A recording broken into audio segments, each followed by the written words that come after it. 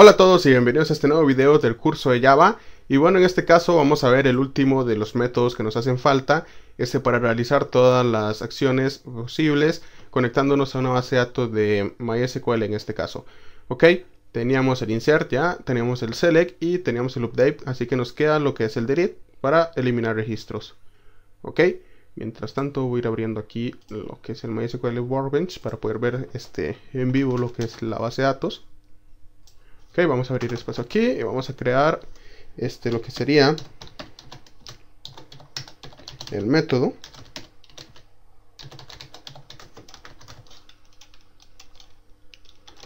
Ok. Vamos a hacer de una vez lo que es el try. El catch puede ser este mismo. Ok y adentro vamos a copiar lo que sería este, la conexión. Vamos a copiarla toda de una vez. Ya no la vamos a ocupar más creo yo. Vamos a ver. Ahí está conexión. Y ahora sí vamos a crear lo que sería este, este nuestro código.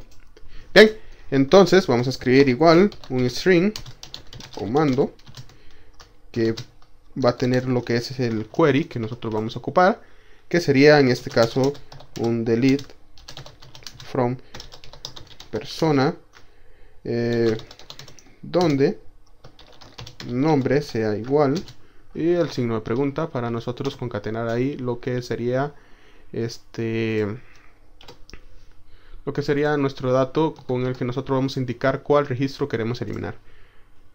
Ok aquí. Bien.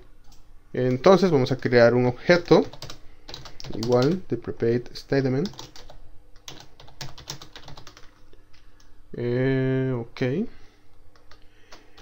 Se va a llamar declaración. Declaración igual a conexión punto que sería prepare statement, este que está aquí, y que sería comando. Ok, en este caso está bien. Bien, entonces vamos a agregarle lo que sería, en este caso, bueno, lo que sería al concatenar el signo de pregunta, que sería este el nombre de quien vamos a eliminar. Vamos a poner aquí a persona.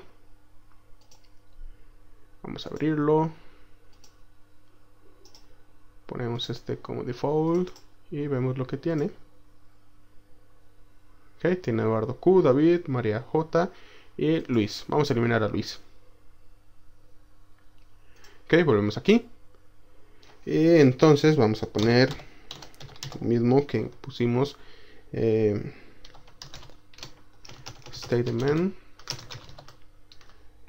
punto set string indicamos la posición, que sería el 1, el único que hay.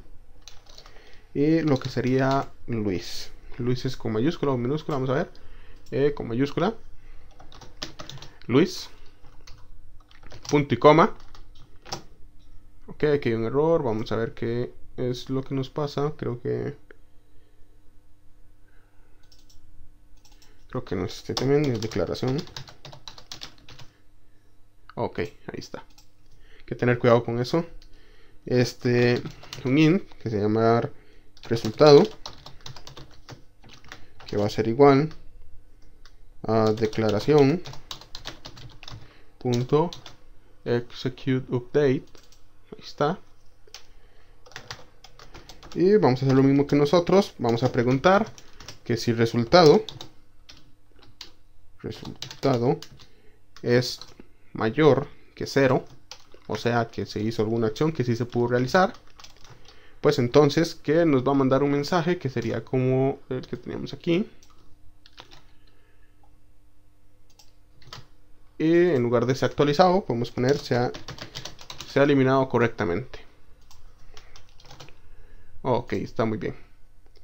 Bien, y este sería, bueno, lo que es el, el código en sí, totalmente, este, el necesario para que nosotros vamos, eh, vayamos a poder eliminar un registro de la base de datos. Ok, tener cuidado siempre que en el delete from persona ponerle un where, porque si no, este nos va a eliminar lo que son todos los registros. Bien, entonces vamos a llamarlo abajo, que sería aquí en este caso. Ese update vamos a comentarlo. Y ponemos el delete aquí. Ok.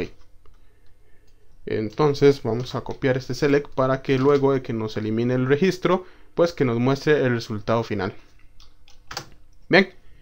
Entonces vamos a volver aquí. Vemos que están solo esos cuatro, ¿verdad? No hay más para abajo. Sí, solo hay esos cuatro registros. Venimos aquí, lo ejecutamos. Esperamos a que se procese. Vemos ahí donde nos enseña los cuatro registros que, existen en este momento. Eduardo, David, María y Luis. Y le damos a aceptar. Va a eliminar lo que es el, el registro. Nos dice se ha eliminado correctamente. Le damos a aceptar y esta vez nos muestra tres registros y eliminó a Luis. Quedaron solo Eduardo, David y María. Ok, entonces vemos cómo de así de sencillo podemos nosotros hacer un delete desde nuestro proyecto en Java hacia una base de datos de MySQL.